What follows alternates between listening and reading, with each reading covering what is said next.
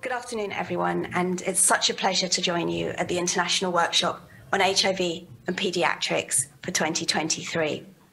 I'm going to be talking about one of the major challenges and the major opportunities as we think about supporting adolescents living with HIV.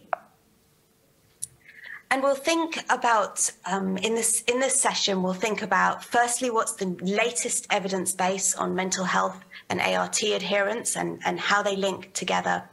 We're going to think about what might be driving those mental health challenges, and, and that will help to think forward to, to the solutions and intervention options, which is a, a, new and growing evidence base, as, as we also consider this in relation to the broader perspective of changes in HIV funding and growing numbers of adolescents living with HIV.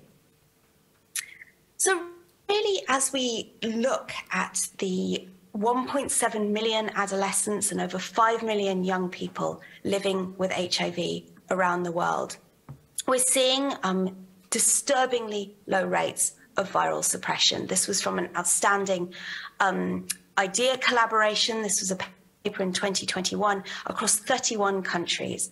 And I think the key things to look at, if we look at the children and adolescents to the left, we see these high rates in dark grey of, um, of young people and adolescents lost to follow up. We also see, if you look down at the white bar at the bottom, really low rates of viral load suppression. And, and um, substantially lower than adults, and really a major challenge for us as we think about supporting them throughout their lifetimes. When we look at evidence um, from government clinics in high burden contexts, this was a study in 72 public healthcare facilities in um, the Eastern Cape of South Africa over three years, we again see these very low rates of um, self reported adherence to antiretroviral medicine, so going down to 37% with consistent rates across three years. And we there's increasing evidence that adolescents living with HIV are experiencing real mental health challenges. And Lorraine Sherr looked at four systematic reviews, um, and they really have a high level of agreement. We're seeing about a quarter of adolescents living with HIV experiencing clinical level mental health distress, primarily depression and anxiety. And around a, a wider 30 to 50% experiencing emotional or behavioral difficulties. A recent um, meta analysis um, by Sege looks at um, suicidal ideation and finds that over 10% have current suicidal ideation with high rates of suicide attempts. There's been some recent studies looking at um, impacts of COVID 19. There are indications that that's increased levels of mental health distress, but, but it, the evidence is still a bit unclear for now. And and I not to be forgotten with that is um, is the neurocognitive impacts of HIV. And and there's been you know there, there used to be much more research on that in in early childhood. But increasingly, we're seeing in, in systematic reviews that um, that adolescents living with HIV are experiencing some um, challenges with cognitive function. Um, and that seems very related to social and economic and emotional challenges that they experience. But it's really important to think about that, both when we think about their mental health challenges, but also how they might engage with mental health treatments and other supportive services.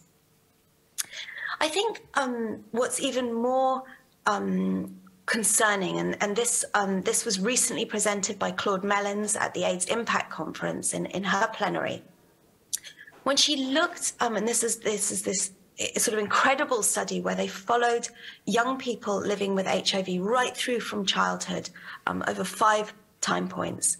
And I think what's really um, crucial here is that when we start to look at a life course perspective, we see even higher rates of mental health distress. And if you look, um, if you look at some of these bubbles, we'll see that 83% of these young people have been diagnosed with a mental health disorder at least one time, and 53%, half of them, diagnosed more than once with a with an um, with a mental health disorder. We see with um, mood disorders, 26% at least once, and so. Um, we're really seeing that young people living with HIV are facing these, these long term, extended, and repeated challenges with their mental health. There may be groups within these young people who are experiencing even higher mental health challenges. And two recent studies in South Africa and Uganda have found very similar results. They found that um, that um, adolescent mothers who are living with HIV are experiencing these double burden and, and often um, diagnosed during pregnancy and seeing very high rates of mental health disorder. And, and that's, that's also impacting um, on their children and their children's capacity. And there have been a number of studies which have looked at linkages between mental health and non adherence or, or um, or viral load suppression. Um, Eugene Kinyanda's done some excellent work on this in, in Uganda. But I think for me, this, this graph um, by Liz Lowenthal and colleagues in Botswana really, um, really conveys that, that, um, that as we see um, mental health distress increase, we also see virologic failure increase. And of course, there's a circular um, relationship here as well. But at this point, it's it's impossible to deny that at least some of the challenges that we're seeing in um, in adherence and in um, and in in retention in, in antiretroviral care are being driven by these mental health experiences. But if we then ask ourselves a bit wider, what is driving these this mental health distress? And this study by um, by Marisa Casale um, with thousand adolescents living with HIV finds that, that we're seeing these, these um, social factors predicting distress. And so in this study, she sees that, um, the, that, that young people being bullied is leading to, to mental health distress and directly leading in to non-adherence. But again, if you look to the bubble on the right-hand side, that can be um, moderated by, um, by good parental monitoring, so good parenting, and they're starting to give us some indications on interventions. This is Elona Toska's work um, in South Africa, and we see here that um, when we look at the um, the risk of um, a combination of unsuppressed viral load and um, and um, risky behaviours, we see that that's being driven by a combination of hunger, um, being in a power inequitable relationship, um, substance use primarily that's being driven by, by mental health. Um, and that those combinations, when we look at these social factors together, we're seeing um, a rise in this, this high risk um, experience from, from, um, from 16% up to 89% for girls. We are also seeing um, drivers of mental health distress that, that, that may not be apparent, that may not be discussed or disclosed. Um, this, this paper um, by Siyanai Zhou shows looks at the impacts of experience of intimate partner violence and sexual abuse. And again, we see this, this um, impact of each of these types of abuse and a combined impact um, driving down adherence from 72% to, to just over 30%. We also see Tonya Thurman's work, um, which has found that, um, that adolescents who've been bereaved, who've lost their parents, are at much higher risk of mental health distress. And these may be things that um, that for a healthcare practitioner don't get mentioned, um, and um, and maybe things that we need to really make sure that we ask young people about.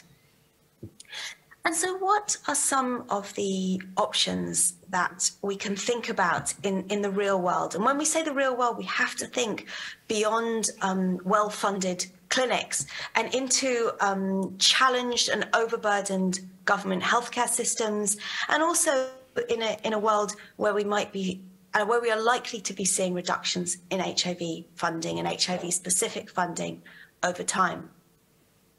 And, and I've been really influenced in much of this thinking um, by work, particularly with colleagues at the WHO. Um, you'll see Wole um, here, um, who's, who's, driven a lot of this, but also colleagues with UNICEF's um, Eastern and Southern Africa HIV team, who, who are really thinking about sustainable and integrated care for adolescents living with HIV. This, um, this, these fairly new WHO guidelines were driven by a systematic review of interventions for, um, for the mental health of adolescents living with HIV, and also led by Zvandiri were, were, consultations with young people across 45 countries. And really, the conclusion was a strong recommendation that psychosocial support does need to be integrated into HIV care, but also a recognition that we do need to be increasing the evidence base for this. However, we have made huge strides. So, in the last five years, we've seen a real increase in evidence for community based mental health interventions. And um, Zvandiri, Pata, um, great examples of these. Um, there's some great work happening um, in Ketempilo in South Africa. And what we're seeing is, is some really similar um, approaches. So, problem solving approaches, cognitive behavior therapy, mindfulness approaches, you know, all which have a similar um, basis in, in psychiatric and psychological care. All working, we're seeing that being, being effective when delivered through task sharing, um, a recent great trial by the Zvandiri team, but also through mentor mothers for, for those particularly high risk groups of adolescent mothers. There's also exciting new interventions that cross across the clinic and community.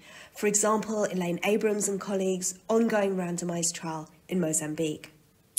Um, we've also seen in um, in sub-Saharan Africa and in Southeast Asia some um, some some really innovative work on supporting parents. Um, this is led by um, Claude Mellins, Mary McKay, and colleagues. But some really um, positive impacts of supportive programs to help families support young people. We we um, we may be mistaken if we think that, that the clinic is the primary source of support. They're spending actually very small amounts of time in the clinic, and the vast majority of their time um, with peers and with their families. We're also seeing um, new innovation in thinking about digitally delivered adherence programs. And at the moment, the, um, the evidence is quite mixed. A very recent systematic review um, has found a, a, kind of set of mixed results. And, and that may be because we're looking at a set of different programs just through the, the delivery mechanism. But again, with text message interventions, we're also seeing mixed results. And so I think um, I think some of the conclusions from this are that there's enormous potential in digital delivery, but that we may need to really refine the content of programs, and we really may need to learn from from other health um, digital programs. There is actually, if you look at broader research on this, we find very low. Tension in digital health apps more broadly um, or digital health delivery, um, you know, somewhere between 2% and 26%. And, and we've got a lot to do to understand how do we how do we make a digital program engage with people or, or, or make them um, ha- have the kind of social engagement that, that may be needed to, um, to support those being a highly effective delivery mechanism.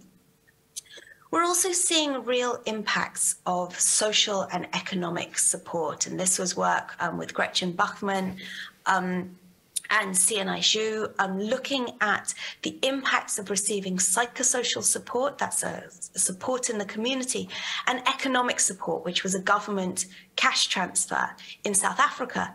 And we see really strong impacts of that, that combined intervention on um, on viral load and on um, antiretroviral adherence. In um, in Uganda, if you look to the right, this was work um, led by um, Fred Ssewamala and colleagues, and this was a delivery of an economic um, family-based intervention. And again, we're seeing positive impacts on viral load. So I think some really clear findings there. We're also seeing positive impacts of just making youth health health services more respectful. And, and we talk about youth friendliness but actually in these um, in these analyses led by Elona Toska in South Africa, what we see is that um, just having a clinic which is safe to go to, which um, they can afford to get to, and to have um, uh, staff who, who don't shout at an adolescent girl, we see um, reductions in, um, in viral non-suppression, we see improvements in clinic attendance, we see reductions in HIV symptomatology, reductions in treatment interruptions, and higher adherence to antiretrovirals. If we, if we also need to think perhaps more broadly about um, about adolescents living with HIV, when, when we talk to them in, in consultations, they're very clear that they want to have um, happy, successful lives, just like any other young person, just, just like all of us. And so it can be valuable to think about interventions and com simple combinations of interventions that can improve both mental health and adherence, but can also improve other outcomes which are really of importance to them, like school progression, like violence prevention, reductions in, um, in risky situations for sexual risk. And here in this study, we see that the combination of parenting support, as we saw in, in these studies, of a school where they're not exposed to violence, so again, safety, and of a government cash transfer can have these multiple positive impacts for young people. But we are facing a, not even a gap, but a chasm in treatment. If we look at um, globally at adolescents living with HIV, only a tiny fraction of them receive any mental health care at all. And our, our reviews, we did substantial reviews um, last year with Professor Lorraine Sherr and colleagues for, for a paper in The Lancet and found almost zero evidence for um, for adolescents living with HIV, and almost no services for those who are, who are living on the streets, those who are selling sex, those who are living with disabilities, those who need palliative care. Although Richard Harding has done one really successful study showing that that's that's very helpful. And also um, for, for adolescents living with HIV in humanitarian contexts and climate crisis. And these are really crucial um, and growing groups. And so we need to be taking these, these pilots, this early evidence base that we have into scaled up services. And we've got some good evidence now of, um, of the effectiveness of services delivered through peer supporters, through task sharing. It doesn't need to be through doctors and qualified nurses. And I think that's really encouraging in overburdened health systems. There's some great evidence, um, which is not HIV focused, but which is the broader mental health field from Crick Lund, Mark Tomlinson, Vikram Patel about integrating services into primary health, integrating mental health services um, in very low income contexts. And it's been successfully um, done into primary healthcare. And that can be a real lesson for us. Chris Desmond talks often about the importance of strengthening the family, and this is what um, Linda Richter, Lorraine Sherr, and and, um, and colleagues talked about um, as we started the HIV epidemic and first looked at children, but that strengthening families are the first point of contact um, and the most sustained and sustainable point of care for adolescents living with HIV. And increasing new evidence suggests that national government systems such as social protection, um, government cash transfers can have a crucial aspect of supporting mental health care, but also supporting adherence. And so I'd like to end by saying that this is not this is not just mental health is not just about what we can give to people. Um, like all healthcare and support it's about that interaction. It's about um, being part of supporting young people to live the lives they want and achieve the things that they want. And i wanted to leave you with the words of this young woman because i think she can teach us a lot about mental health, about adherence, and about how we think about young people living with HIV. Thank you.